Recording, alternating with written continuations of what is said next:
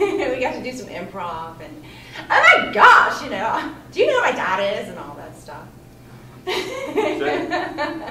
Now, did you know that the scene got cut by the MPAA and that Cindy originally, when she hit the ground, her head exploded and brains came out? no, I didn't know that. No. So when you filmed it, all you saw was, did you see the dummy dropping from the flagpole? Yes, we got to see the dummy drop, and I think they dropped something for sound effects, like a watermelon or something.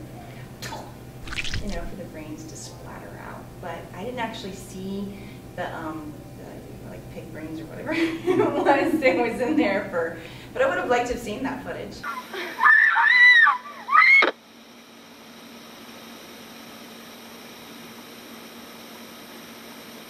Yeah, Pam actually goes over and she like licks the pig brains and, Oh, I remember did see that. Yes, Oh, yeah, that's totally grody. so, yeah, Ew, was it pig brains? She was licking. I think that's what it was. Wow. Yeah, pretty Wow, nasty. pig.